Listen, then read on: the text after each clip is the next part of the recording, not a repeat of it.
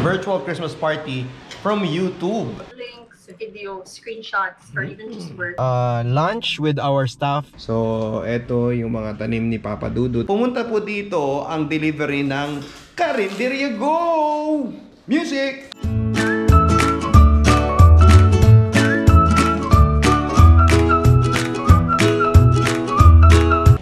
what's up mga ka-online, mga ka-YouTube? Si Papa Dudut po ito and welcome to my vlog. Ngayon po ay araw po ng Wednesday at mamayang alas 4 ng hapon ay meron po kaming Christmas party, virtual Christmas party from YouTube. At ngayon pa lang ay gusto ko magpasalamat sa YouTube for sending me regalos. Sila po ang kauna-unahang nagbigay sa akin ng regalo. Sino kaya ang susunod na magbibigay sa akin ng regalo? Comment down below kung gusto nyo magregalo. Okay? So ano nga ba naman ang regalo sa akin ng YouTube? Wow! Meron kaming mga imimix mamaya ng alak. Anong tawag dito babe? Gin? Gin tonic? Ayan. So mamaya eh kami po ang magmi-mix niyan. One of uh, the activity of uh, YouTube is magmi-mix kami niyan at ipapakita sa inyo ni Jem. Siya mag-shoot sa akin mamaya mga behind the scenes ng gagawing activity namin ng YouTube sa aming virtual Christmas party. Pero aside from the gift na mga alak, ay meron ding mga binigay ang YouTube sa akin kanina pinadala nila ng mga food. Thank you so much. Meron tayong napakasarap na mga food.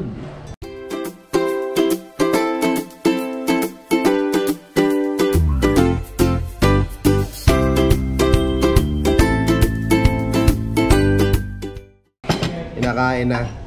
Kaya nga yung mga labi namin ay may mga, may mga ano na, langis-langis na. okay, so see you later na. Pakita ko sa inyo yung setup ng aming virtual Christmas party.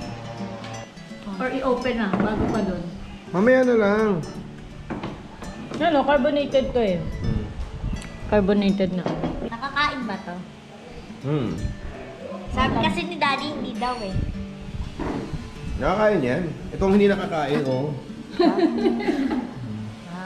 On Christmas, this wine. Huwag mo ano yun. Decoration yan. Magagamit pa natin yan. Pagregalo ko ulit sa iba. Char. So yun na nga, no, update lang guys, no. May nangyaring kumusyon dito, di ko na nakuna ng video, pero nag-away-away yung mga aso, no. Si Pendi, yan po si Pendi, inaway yung maliit na aso. At ang may kasalanan, ito! Ito ang may kasalanan. Ba't di mo inawat? Gucci! Gucci! Bad dog ka, ha? Bakit hindi mo inawat? Yun totoo, Gucci. Bad dog ka. Ito, aping-api. Mukhang aping-api, oh. Ito, may kasalanan. Nag-aaway yung dalawa. Tsaka ito. O ano? Mukha kang basang sisiyo, no? Hindi ka makalaban, no? So, guys, ang dami kong so kanina pa. Andito muna ako sa itaas bago yung aming virtual Christmas party ay kumuha muna ako ng konting time para matapos ko na yung episode to air mamaya sa isa ko pang YouTube channel which is Papa Dudut uh, YouTube channel. At uh, ito po yung sample na no. Ayan, dito ko siya ginagawa.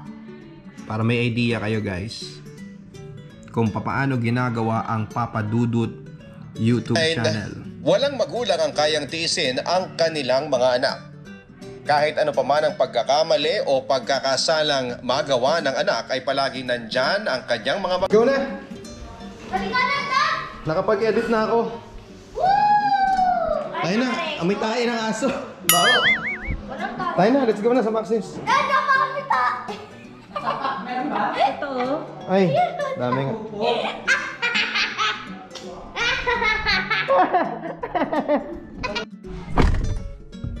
Wait natin sila.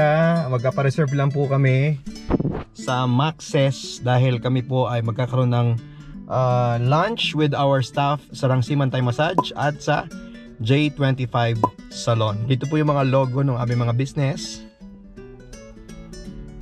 At may party nga po kami this Saturday. Palis na ka po kami! Sayang, di na nila nakita yung nag-away ng manok. Hmm? Pakita mo. Nag-away ng manok eh. Ayun, may nag-aaway doon ng manok guys. May nagsasabong dito. So punta na nga kami sa Maxes guys. Let's go! Ito po ang team, hindi pa naliligo. And guys, uh, waiting lang tayo kay Jem na matapos sa kanyang transaction with Maxis for the reservation for the venue ng aming party. Actually, hindi siya party ano kasi bawal pa naman talaga ang party. Magkakaroon lang kami ng uh, lunch, no? Kasama ang mga staff para syempre matagal na kami hindi nagkakasama-sama. So kakain lang kami, then after that, uh, konting regalo, exchange gift. Tapos uwi na. So yan ang aming plan lang ano para hindi naman kami masyadong expose na expose sa labas. Kain lang kasi pinapayagan naman yung pagkain sa labas eh. Kanina nakakatuwa may mga tumitingin sa kotse ko dito no. Pinag-uusapan nila yung sasakyan Sabi nila Naku ito sinet up na to Ganyan ganyan Pero ang Fortuner 2021 model po ay hindi po sinet up Talagang siya po ay Nabili ko ng ganito At di ko na siya pinagalaw pa Kasi yun yung mga natutunan ko from the previous na pagkakaroon ko ng kotse na mas maganda kung hindi mo siya i-modify. Kasi once na na-modify na siya or meron kang pinagalaw may natanggal na tornilyo merong mababaling tornilyo so magkakaroon ng kalampag. So might as well kung ano yung binili ko yun na lang sana. Kaya hindi ko na pinapagalaw talaga. Okay? So anyways uh, 3.38 ng oras ang aming virtual uh, Christmas party ay alas 4 so naku ang tagal ni Jen. Mabuti na lang at uh, malapit lang itong Maxes dito sa bahay namin. At nakabalik na nga po kami sa bahay. Nire-ready ko lang yung aking office. At dito na ako mag-meeting. I was thinking that since we have a whole group of maybe now what 24 people, um, we can take some time to uh, introduce ourselves. Nika and I can randomly pick mm, 12. Okay. So yun na nga guys, no, nagsimula na po yung aming virtual meeting. No, tingnan nyo to. Okay, so actually, 12 on my list. Ayoko magsalita kasi puro. Prince. and I think um, we take the floor, Prince. So ito, ang isa sa mga activity namin na gagawin guys Hi! Is kami po ay mag-blend ng ano, magmi-mix kami ng mga alak, okay? And my content is all about cosplay, horror gaming, and many more. Actually, it's all about pop culture, but mostly horror. Uh, my channel is Prince de Guzman Transformations. Yeah, from the word itself, transformations, I transform into a lot of characters. And um, nice to be here. Merry Christmas, everyone.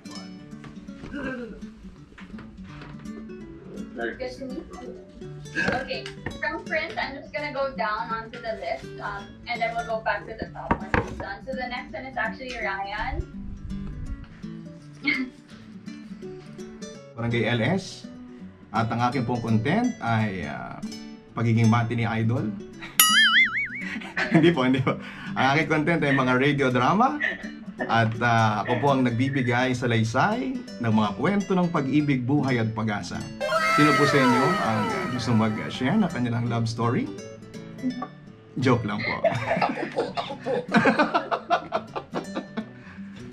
Sob story lang eh, walang love. Ayun na may, ano, may willing na ka-collab ka na. Ayun, so thank you everyone. I hope that also helps kasi So habang nag-virtual meeting po kami guys, eto, pinagagawa ko ni Jem ng drink. So kasama to sa mga ano activity.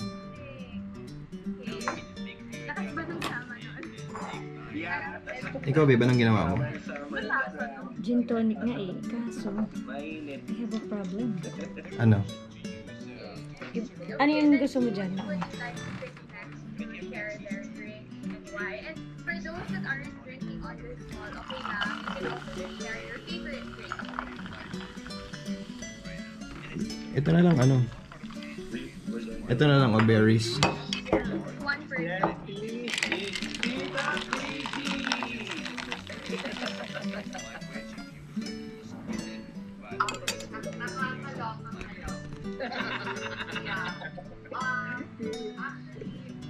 Cheers. Sesegundahan ko yan, Team Kanlasa, because that's what I call RPG. to create a board um, to represent that. So whatever it is you're sharing, find pictures, links, video, screenshots, or even just words, put it in there. And then we'll share it with you at So aside from the drink guys, meron din kaming mga pulutan na ginawa ni Jem. Ako, Atin na to. wala magsalita. Patay. Yeah, but I think it was over na everybody was so, ano, was so open and we're so happy to hear na you guys na, ano, everyone's doing well or on the way na walang patay. Ano, ang dami na lang binigay ah. Yan lang ang ano, in moderation lang dapat ang pag-inom. Enough na yan What's up guys? So tapos na po yung aming meeting. Napakabilis na meeting lang siya. Christmas party. Nagkaroon kami ng uh, activity ng mga mga naging achievements namin for this year. Ano yung mga future plans namin. Pinag-usapan namin with some of the creators na excuse me po na involved at uh, medyo na parami namin din po ako ng inom. Pero nag-enjoy naman ako sa activity. Maganda yung activity nila ni Policarpio, nila Andrea, and uh, sa lahat ng mga ibang mga YouTubers na nakita po ninyo. Andun sila Madam Ellie, si uh, Tita Chrissy, and uh, si uh, Riding in Tandem, at uh, yung mga iba pang mga uh, YouTuber na napapanood nyo ay kasama ko kanina sa party. At maganda palang magkaroon din ng mga virtual party, ano? Hindi imposible na mangyari pala siya. So, yun. So, hindi ko pa ito napablog. Ewan ko kung napakita ko kanina. Pero uulitin ko lang. So, recap. Meron nga akong pulutan. Yan. Maraming salamat sa YouTube sa pinadala sa akin ng mga drinks na kasama sa amin. Uh, package na pinadala. So, ayan. Magvo-voice over lang ako. Work lang ako for a while. What's up guys? Nagbabalik po si Papa Dudut at uh, ngayon naman ay uh, dumako naman tayo sa update dahil doon sa aking last vlog ay pinakita ko po sa inyo ang aming pagtatanim. So after a few days, ano na nga ba ang update sa aming pagtatanim? Papakita ko po sa inyo na ito na po yung resulta. Okay? So sabi ko magpapa-welding ako ng lalagyan muna ng mga uh, paso. Nangyari na po siya. Ito na po yung pina-welding ko. Papakita ko sa inyo. Yan, ang bilis, di ba? Mm. So, ito yung mga tanim ni Papa Dudut. Ito ay uh, Zanado. Tama ba ako? Zanado. Bigay ito ni Ma'am Lonya Uy. At uh, ito rin, bigay ni Ma'am Lonya Uy. Pero may tumubo ng mga ano, uh, dalawang dahon magmula nung binigay niya sa akin yan ito naman binili ko na to uh, same plant po sila rubber plant pero different variety tapos ito po yung mga nakalagay dito sa pina-welding ni Papa Dudut na mga paso meron tayong African Talisa ito yung pinaka latest namin na plant ito naman yung peacock ayan ganda oh So, hindi ko to namalaya ng representation kasi kapag naninilaw, ibig sabihin nun ay kulang sa dilig. Matakaw pala ito sa dilig. Sa, oh no! So, ito didiligan ko to bukas. O hindi pwede ng gabi. Hanggat maaari, wag po kayo magdidilig ng gabi kasi hindi ka agad mag, uh, alam mo yun, lalabas yung yung tubig mula sa lupa kasi nga gabi na. Kaya pinaka the best na oras ng pagdidilig is umaga. Okay? So, yan ang gagawin ko. Bukas na bukas ng pagising ko, magdidilig ako ng halaman. Para pagdating ng alas 9, alas 10, nag-evaporate na kaagad siya para hindi mabulok yung mga ugat ng plants. So, advice ko sa inyo yan. Ito pa rin yung mga iba nating mga plants. Ayan. Ito, medyo pinorma ko sila dito sa may uh, open space kasi kapag umaga okay lang na maarawan sila direct sunlight ito yung mga uh, pang derby kumbaga sa initan pwede silang masurvive makasurvive kapag direct sunlight. Sila kaya dito ko sila pinasabak sa direct sunlight sila okay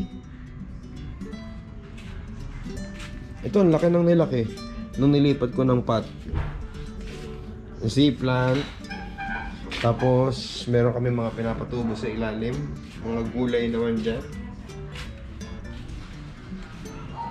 Nakakatuwa to. Oh. Tinutubuan na siya uli ng mga bagong sibol, ng mga dahon. Yan. Medyo maalik-alikabok lang dito guys ha. Ito ay medyo nag-spray na ako kanina kasi sobrang alikabok dito dahil may pinapagawa kami sa likod ng bahay. So yan ang latest sa aking mga halaman. Good morning! Next day na po ito. Magdidilig lang kami ng halaman. Oh.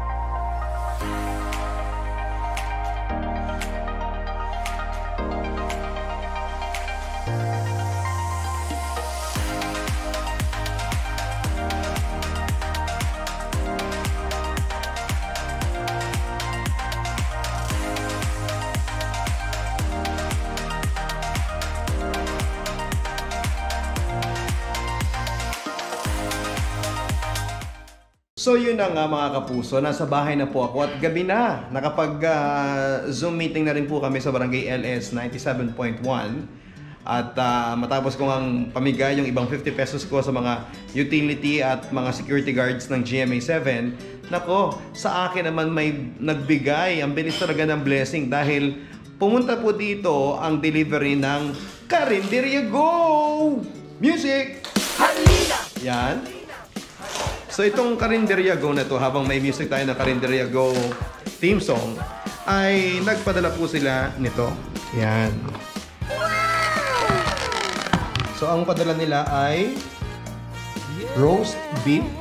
Ito po ay produkto ng Karinderya Go na pwede nyong i-download ang kanilang application Karinderya Go sa inyong mga Android phones.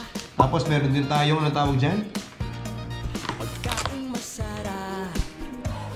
Mixed Seafood. Seafoods. Oh, Mixed Seafoods. Okay? Ito po yung nagpadala sa amin, ano, si na Boss Anthony ng Karinderya Go. So, itong Karinderya Go ay makikita po ninyo sa kanilang social media accounts, Karinderya Go, karinderyago.com, Karinderya Go slash channel on YouTube. So, ang dami mga pagpipilian na pwede nyo pong i-order. Ito yung binabanggit ko sa inyo na application ano, na pwede nyong i-download or pwede kayong tumawag sa kanila. Maraming maraming pong salamat sa Karinderya Go. Pwede po kayong ah, tumawag sa kanila sa 0997-788-5302 para sa inyong pag-order o kaya mag-download ng kanilang Karinderya Go app. Yan ha, download na kayo sa Google Play. Get it on Google Play para makapag-order din po kayo. Napaka-express po, napakabilis po ng kanilang delivery. Kaya nga Karinderya Go, di ba? Hmm! Amoy pa lang, ang sarap-sarap na. Mamaya, tikman na natin sila. And yun na nga guys, meron ako mga bisita rito. Ayan, si Kong, tsaka si B. Uh, si Papa Rodel, at saka ang kanyang ah, sweetheart, real life sweetheart, si B talaga. Ayan. So anyways, um, ito, papahatingin namin sa inyo yung luto ni Papa Dudut. No joke lang. ito po is from Karinderya Go. At kanina actually, in-explain ko naman sa kanila. So ayan, titikman namin uh, food taste. First time ko din pong kakainin yan. So tingnan natin kung talaga bang masarap ang Karinderya Go. Oo, tingnan natin ha. Tayo tayo. Ang sarap niya, hindi ako nagbibiro, napakasarap po niya. Kaya tinatanong ko na sa kanila kung ano pa yung mga ibang mga niluluto nila sa Karinderya Go. Tinatanong ko kung may Bicol Express sila eh. May laing din kayo dun? Meron. Wow, mga paborito ko yun. Bacolod County, Sisig, Crispy Liempo, Kare-Kare. Mm. Grabe guys, sobrang sarap po talaga. Sa katunayan, kita nyo naman yung aking pinggan, wala nang natira, no? Ano masasabi ninyo sa luto ng Karinderya Go? Sobrang sarap. Oh, di ba? Baka naman taga doon kayo, ha? Hindi kami. Wala kami ebidensya. Iba yung pagkakasabi niyo eh. Pero kidding aside, eh, masarap po talaga ang Karinderya Go. Ito po, napakasarap po nito. Ito po ay uh, beef, no? Roast beef. Roast beef. Tapos ito naman yung kanilang seafood, no? Mixed seafood. Mixed seafoods. Ayan. So, ang masasabi ko lang po ay, ubod ng sarap ng mga ito. Pero yung mga iba, hindi ko po masasabi sa inyo kung masarap pa dahil hindi ko pa po natitikman. Pero pagkasarap-sarap po talaga ng Karinderya Go. Itong kanilang beef na pag sinubo nyo po, natutunaw sa dila po ninyo. Manamis-namis, no? Natutunaw talaga siya sa dila ninyo. Naku, kung nami-miss niyo po yung mga malambot talaga. Kung nami-miss niyo po yung mga ganyang klase ng pagkakaluto, naku, kung ako sa inyo, mag-order na po kayo sa Carinderia Go. Silipin niyo lang po ang kanilang Facebook account, Carinderia Go, habang pinapatugtog ng aking editor ang music bed ng Carinderia Go. Sige, tugtugin pa natin. Oh, di ba? Sarap-sarap. Mm. Alam niyo ni Tina? Mm. Oh. Tanong natin si Jerma pagka tingin niya ng ulam, ha? O yan, tingnan natin kung, kung ano ang masasabi niya pag pagtingin mo ng ulam.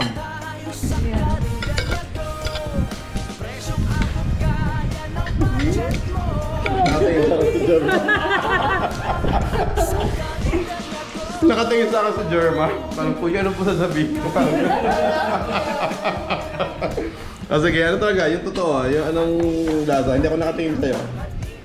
Masarap kuya. Super. Walang halang dito. Super kuya. Masarap. Pagkabalit mo ba ang jowa mo dyan sa pagkain ng calendar ko? Huwag na kuya. Sarap! Matapos nga namin ah, pasabikin po kayo sa pagkasarap-sarap na Karinderya Go, ako po ay magkapasalamat sa lahat po ng mga nanonood ng aming vlogs. Thank you very much po sa inyong lahat. O, shout out time muna tayo sa mga huling nanood ng vlogs ni Papa Dudut, no? Yung aming episode na Plantito. So, shout out muna tayo sa mga viewers natin, si Dane Martinez, si Jemirax Quinones. Ito mga to, eh mga ano namin to, mga suki na namin. And uh, ganoon din si Josie Vina, mga bago naming viewers. Si Jackie Santillan. Ayan, maraming maraming salamat po sa inyong walang sawang panonood ng Papa Dudut Vlogs. Don't forget to like, share, and subscribe. Bye-bye!